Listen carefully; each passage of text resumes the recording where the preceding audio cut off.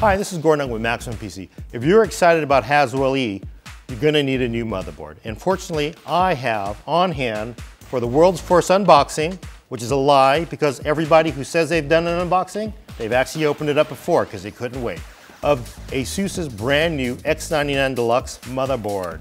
Bam! This, of course, is the X99 platform for Intel's brand new 8-core Haswell E processor, and we are gonna walk you through a board that Asus has really loaded up. Look at that beautiful material. I believe they use cardboard. Um, I've done a Rockwell test of the cardboard and it's really hard cardboard. I am of course lying, but this is the X99 Deluxe. So with the X99 Deluxe, Asus actually used a different color scheme. I don't know why I'm telling you this, because with your eyes you can see there's white and there's black. So what else do I need to tell you?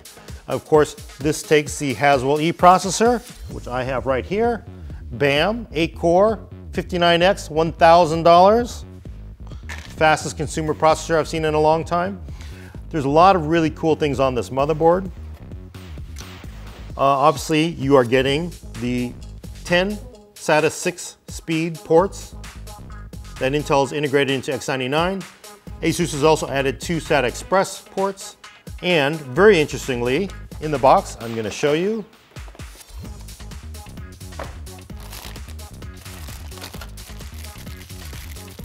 This very interesting bracket.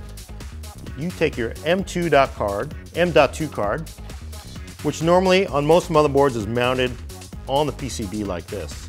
So to take up less space, they actually mounted it in a vertical slot socket. So you put your M.2 in there, you add your little slot. How am I gonna do this? You mount the card to it, and now instead of eating up a lot of PCB space, it's sitting vertical. But of course, ASUS says, well, we know people don't like doing that because it looks weird. It looks like this appendage sticking out of your motherboard. They've also included the Hyper M.2 X4 card. You put your M.2 card here, you put it into any of the PCIe 3, Gen 3 slots, and you have full speed M.2 on a Gen 3 by 4 slot. With Z97, most M.2 cards actually were connected to the South Bridge. They use a Gen 2 connection at by 2. This is Gen 3 and by 4. Basically, uh, on a Z97, your typical Z97 boards, not all of them, you might get 800 megs a second. This should, should let you get about 1.1 gigs a second if your M.2 card can really handle it. And yes, this does actually work on a Z97 board or basically anywhere where you have a by 4 Gen 3 slot.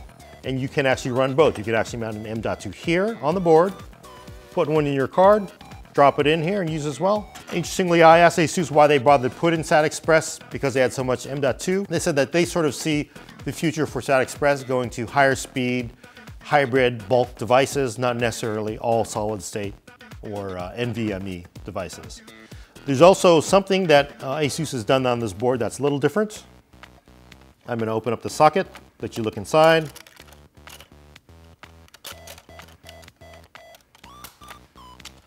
The company says they've actually found a secret way of adding pins to this normal LGA 2011 V3 socket to let you overclock it overclock this, the processor a little more. If you're expecting to get 4.8 gigahertz out of a Haswell E part, you're gonna be disappointed. They say you should still expect to get 4.5 with good cooling and a good power supply, but what they've done with this socket is add additional pins so you can overclock the Uncore as well as the DDR4. Unfortunately, this board is not powered up, but ASUS has put a new feature onto this board. It really confused me. If you can see this dip switch here, we'll do a close-up on this, but it says SLI Crossfire, and there's uh, 1X, 2X, 3X, and it basically lets you select this. I was confused. I thought, does this somehow reconfigure your PCI lanes on the fly if you're running multiple cards? And ASUS says, no, actually, they've gotten a lot of support calls from people who don't know which slots to put their video cards in.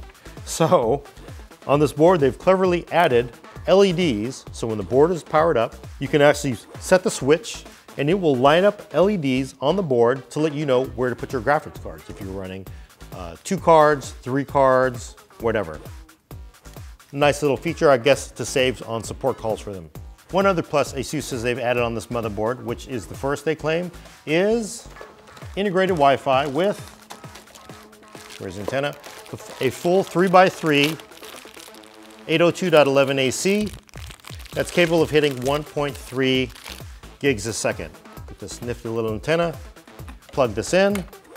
It's beam forming, again, a 3x3 antenna, and can transfer 1300 megabytes per second in Wi-Fi.